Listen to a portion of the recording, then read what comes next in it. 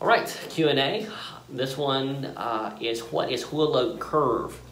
Uh, curve, you know what, I'm on a whiteboard here. Why don't I just show you what, what, what wheel curve is. Um, so load curve is how fast, the speed at which the, the tire, um, the wheel, the corner of the car actually picks up its load. So let's just, let's draw a little graph here. I'm doing this kind of backwards, so bear with me. Um, so this is my graph. Um, let's just say we have a have a standard spring on, on the car, just just a traditional spring. Um, this will be a wheel load curve.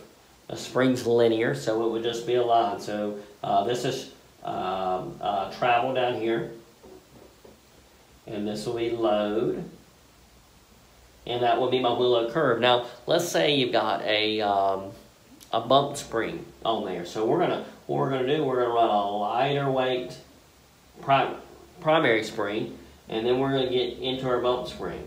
And that will be a different wheel load curve. You see it's still linear because it's got uh, two springs.